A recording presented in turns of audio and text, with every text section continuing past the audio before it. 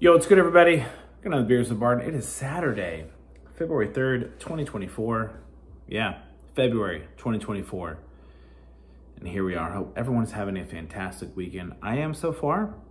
Um, you'll know why I'm here pretty soon. I'm obviously pretty amped for the Super Bowl. It's coming up seven, eight days from today. Um, Michaela turns 13 a week from today. That's crazy. Um, Dance is back in full swing. As we know, it never stops. Can't stop, won't stop. Um, having some uh, family over tomorrow and close friends to celebrate uh, Michaela's 13th. Um, beach next weekend with some uh, best friends to celebrate. And then um, week after with um, the grandparents and such. So the birthday month continues. But, you know, tell what this is about. This is about Duke, D O O K, Carolina. Um, greatest rivalry, and definitely in college basketball, but probably in all sports, in my opinion. I'm a Tar Heels fan, so I'll uh, maybe biased, but uh, I think there's like 180th um, matchup tonight, 49th tonight of matchup out of 180 that both teams were in the top 10. Think about that. That's like 30% of all matchups of their history, both teams have been in the top 10. Uh, they were tied at 24. Carolina wins tonight, 90-43. So we're up one, but uh, great game. Carolina looks like the real deal. Um, haven't watched Duke much this year. They're very talented. They can score. They got some big men, but uh, Carolina's defense really looked like the difference. So really enjoyed it. Got that dub. Uh, Carolina 10 and 1, first place. Duke seven and three in second place. So two and a half game lead on the Dukies. I love it. So what we're doing tonight. So we're gonna get a little beers with Barton in. This one is a Founders All Day. I all, I'm sorry, All Night IPA, which that's what Carolina did to Duke tonight. Was just gave it to him all night. My boy Danny Dimes hooked me up. Did a little beer share. My man did a dry January, so 30 something days. I think a couple days before New Year's, he even did. So I think like 33 days dry. I don't know how he did it. So cheers to him for that. But he hooked me up with some beers. He had a bunch.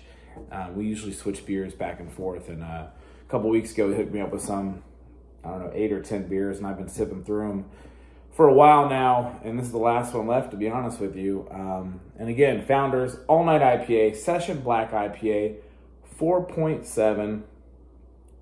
I actually don't think I've had this beer before. I like Founders. Um, but yeah, Carolina looked good tonight. Uh, pretty much led the whole game. Duke kind of was in it here and there. Um, it smells fantastic. But uh, Carolina pretty much dominated the game. RJ Davis, who's the leading scorer in the ACC at like 21.5 points, I think had four at halftime and maybe scored 11 in the second, so 15 total. Bacot had a great game. Um, Ingram went bananas. I think he had 21 and 15, something like that. So great team win. Uh, Carolina, third ranked team in the country, beats the seventh ranked team in the country, Duke. Um, Carolina did lose earlier this week to Georgia Tech, unranked on the road. Uh, so if they hold at three, I'd be pretty happy. But uh, you know, beat a big time game, it's good. Duke is not the seventh best team in the country. Uh, Carolina may, may, not be the top three. They're top five for sure. If I'm if I'm looking at all the teams this year, I've watched a lot of college basketball. They're top five. It's probably uh, UConn is definitely number one. Purdue's probably number two. Kansas is probably number three, and I'd say Carolina's probably number four.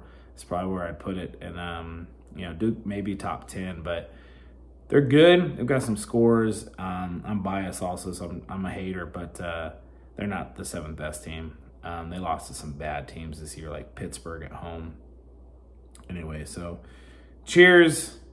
Carolina beats Duke. It's fantastic. Hopefully, this is a, a, momentum starter for my sports teams, which is Carolina beating Duke. And the Niners winning the Super Bowl in eight days. I don't know. We got the Swifties to worry about. So, cheers. Founders All Night IPA. 4.7, I think I said. 4.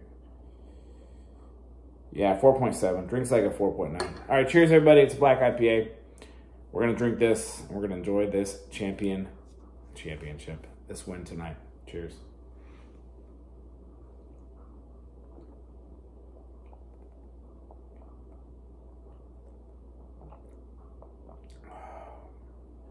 It's tasty. All right, buddy. Again, hope you're having a fantastic weekend. I am so far. Um, and uh, just to top it off tonight, if you pour it in your glass, got to finish it. Uh, we're going to celebrate a little bit tonight. We're going to have a little sipper. I got this last Christmas, not this past, the year before. So I've had this for, man, 13 or so months.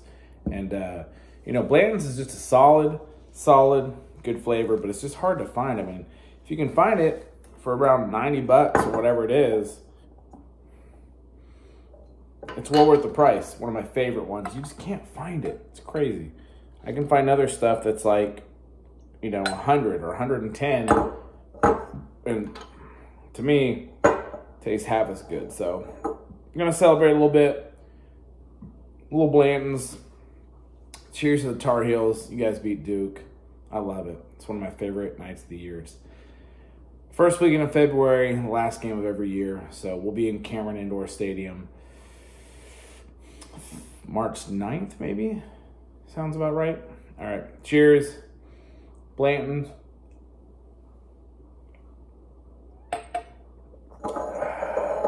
Tastes like a win. All right, buddy. Have a good rest of your night.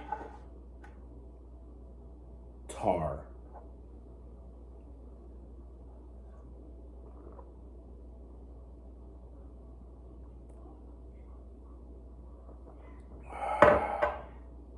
Heels. Until next time.